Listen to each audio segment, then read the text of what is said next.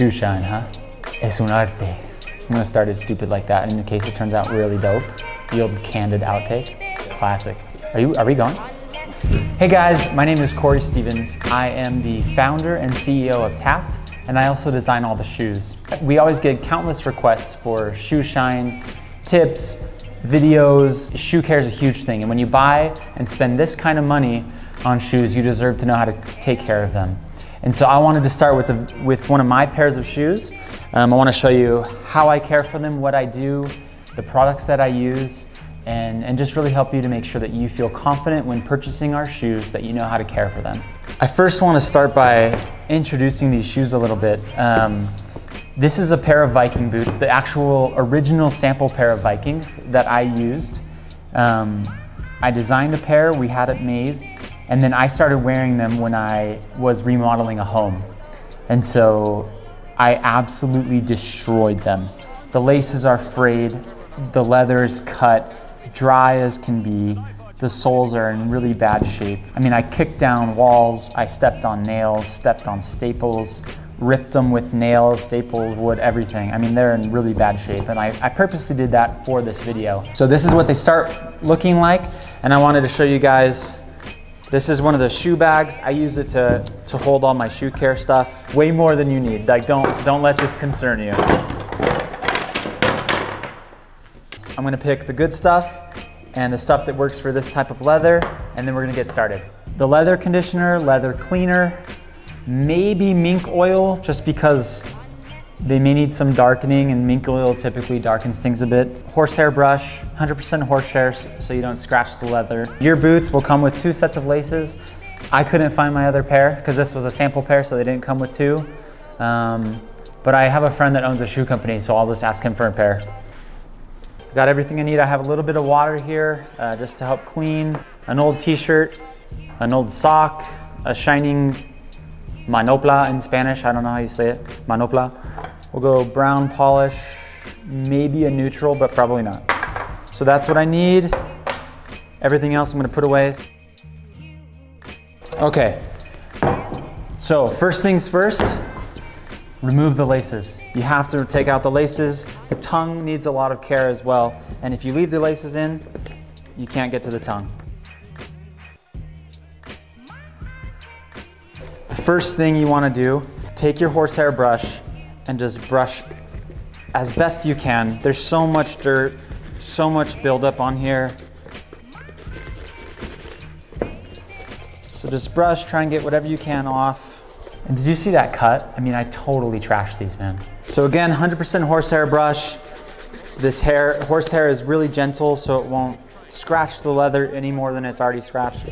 And you can see all of our shoes are hand painted and stained. And so when you really, really work them, eventually you can get down to a crust leather, which is pretty white and van a vanilla color.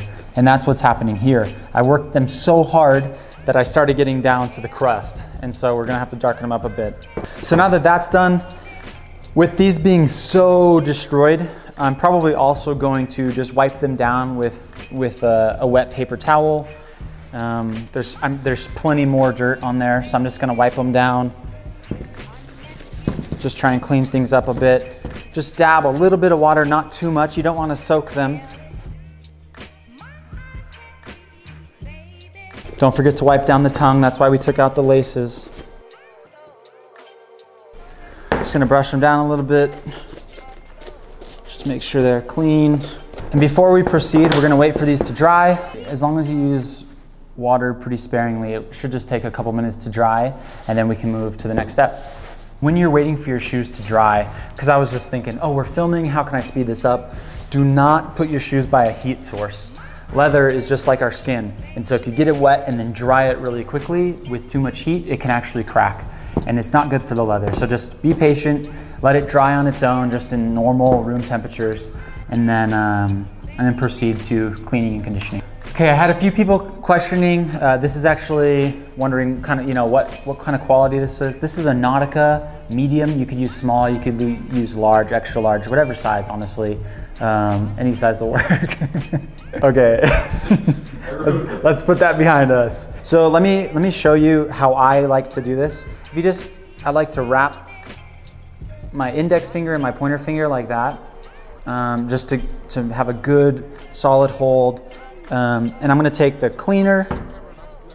So this is just Griffin's premium leather cleaner. We're coming out with our own leather cleaner um, specifically for our leathers, so just do that. But in the meantime, I'm gonna do the example with this, and I'm just gonna take a bit of it.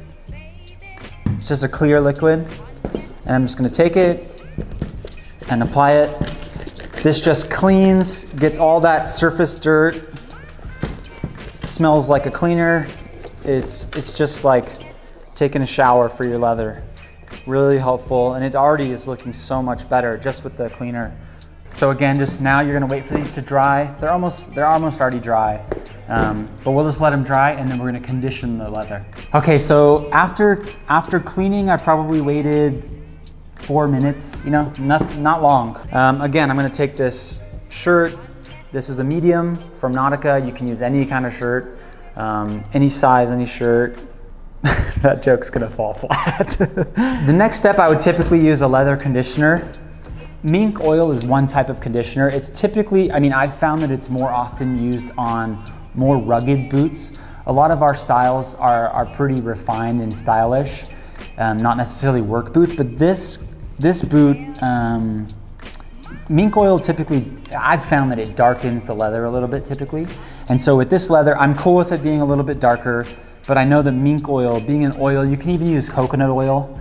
Um, or you know solid state coconut oil at this point. It just it just moisturizes that leather, sinks into the pores, and just gives it life.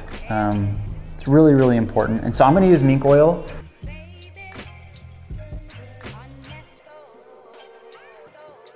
Okay, and now like all the other steps, uh, just wait a couple minutes for them to dry.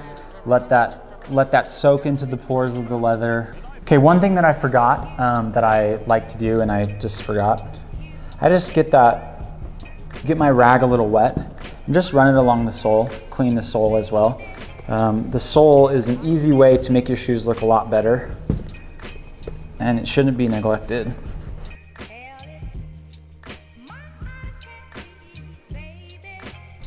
I'm feeling like a rock star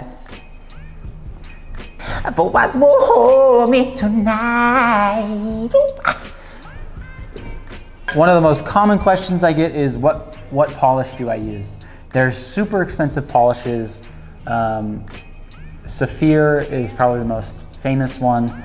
I just go my reliable Kiwi. It's available anywhere, CVS, Rite Aid, your grocery store. It's like two bucks, 249, lasts just as long.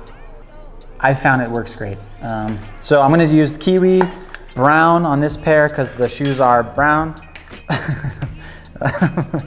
Again, that same grip, just I take these two fingers, wrap it around real tight, and then just hold it here. So just take some of it, and I'm, I like to start at the toe cap And you're just gonna rub it in in a circular motion, small little circles. Make sure it gets in all the little cracks, all the little creases. These shoes are really beat up and really scarred and mangled up in the front. So I'm just gonna make sure, be really thorough up there so that all the creases and all the cracks and all the things that I did to them get a little, get a little polish in there. Again, I remember, I, I know how to care for my shoes. I know when and, and how to use them, but I really tried to beat these up uh, so I could make this video and just show you that when you make, when you buy nice shoes and there's nice, le nice leather being used, nice inner calfskin lining, nice soles, and good solid construction, you can put your shoes through a lot and they're gonna last you, but you do need to know how to care for them. And that's what hopefully this video series does for you.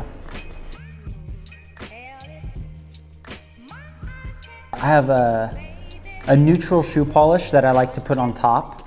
Uh, this is from Griffin, uh, just a neutral. But for me, it just gives it a little bit more shine. I'm not like a mirror shine kind of guy, um, but, but this gives it a little bit of a shine that I like. I've applied just a touch of this neutral polish. It's a bit more waxy, so it has a better shine to it. Um, now we just wanna make sure that they're really dry. If you start to buff before the polish is dry, you tend to just buff off all the polish, all the work you just did, you just kind of scrape it off with the brush. Despite a horsehair brush being pretty gentle, it's still abrasive enough to take that top layer off. And so just let it really dry. Um, it shouldn't feel sticky to you anymore once it's really dry. So let it dry, let, be, be patient uh, because it will definitely result in a better shine. They feel pretty good. I'm gonna go ahead and start buffing them. Um, so horsehair brush, this is how I like to start. So you just take your horsehair brush, let's make some room here. And I hold it like this, and you just lightly run it back and forth.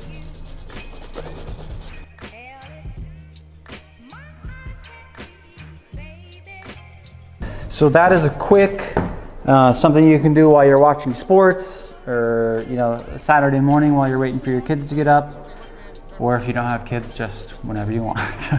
um, you can go way crazier than this. I'm a pretty basic, simple guy. Um, I'm just gonna put these laces on there now. I picked these up at the store.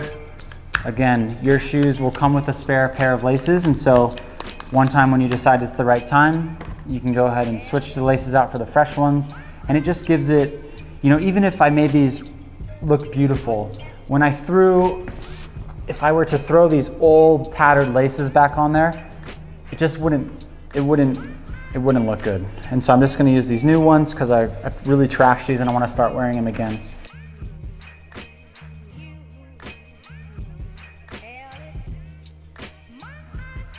So I, I'm gonna put them on. Uh, I wanna show you guys how they look. so let me, uh, okay. Oh yeah, I love these boots. They're so worn in. Oh yeah. They look good. They feel great. Sweet. So I destroyed them. I beat them up as best I could.